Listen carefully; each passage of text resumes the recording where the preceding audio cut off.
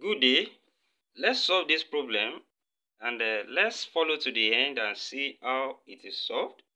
Now, this bracket we can expand this and this will become x squared then minus 2 times x times 5 that's minus 10x then plus 5 squared that's 25 then equals to x raised to power 3 plus 1 now, from here, let's take everything to one side. Let's take this one to this side to form a cubic equation. Then we have x raised to power 3, then minus x squared, then become, here, minus 10x come here, become plus 10x. Then we have plus 1 here already, then minus 25 now which is equals to 0. So that when we write this again now, this become x raised to power 3 minus x squared, then plus 10x, then 1 minus 25 become minus 24, which is equals to 0. And uh, from here, we have a cubic equation. We are expected to have a ray, you know, solution at least. Then we can expect from here. What will be the real solution from here? Factor of 24 and that start from 1 and 2 and so on to 24 so we put this you know integers to test whether we are going to have which one that we substitute here that will give 0 will therefore be the root of this polynomial. Now when we put 1 here, we discover that 1, when we substitute it here, we are not going to have 0. Then let's check 2. For x to be equals to 2, so substitute x equals to 2 from here.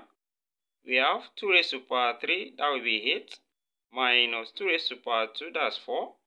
Then plus 10 times 2, that's 20. Then minus 24. Will this one be 0? Then let's see, we have 8 minus 4, that's 4. Then 20 minus 24, that's minus 4. 4 minus 4, that's 0. Now, we can say from here that x equals to 2 is a root of this polynomial. Then, equivalently, we can say x minus 2 will be a factor. So, we can say x minus 2 equals to 0. Now, to get the other factors, another root, we can use synthetic division here. That is, let's divide through by 2. Let's divide this polynomial 2 by 2. So using that, we have 2, we divide this. Then the coefficient, coefficient of x raised to power 3 here is 1. Then coefficient of x squared, we have minus 1. Then coefficient of x, we have 10. Then the constant here is minus 24. So when we divide, we have. This one can be dropped. Let's drop this one here.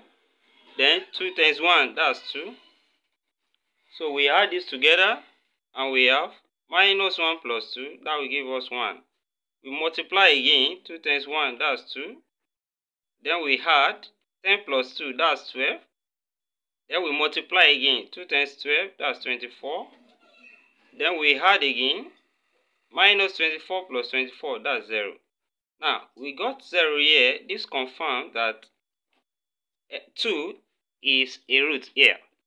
Then these three numbers here we form the coefficient of a quadratic equation in terms of x. Then we have x squared then plus x 1 is the coefficient of x squared and 1 is coefficient of x here. Then plus 12, which is constant, will then give us 0. Then when we solve this quadratic equation from here, we can use quadratic formula that x is equals to minus b plus or minus square root of b square minus 4ac over 2a. And from here, a is equals to 1 b is equals to 1 as well and c is equals to 12.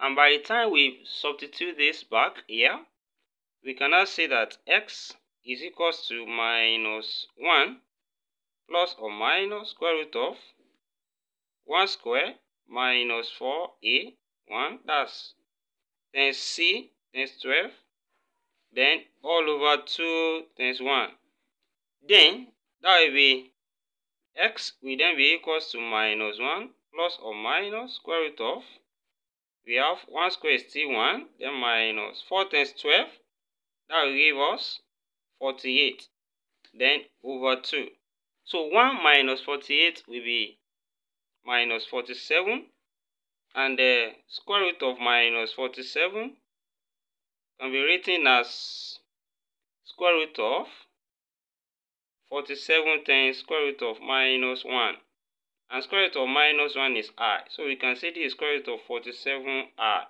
so now when we write this again we have x equals to minus 1 plus or minus square root of 47i then all over 2 and here we have two complex solution from here. We have two complex solution and we have gotten one real solution that is x equals to 2 so now we can conclude from here that the value of x we got the first one is x equals to 2 and uh, the second one x2 is equals to minus 1 plus root 47i over 2 and uh, the third which is also complex is equals to minus 1 minus root 47i over 2 and these are the value of x from this solution. Thank you for watching. Don't forget to subscribe for more of our videos. See you in the next class and bye for now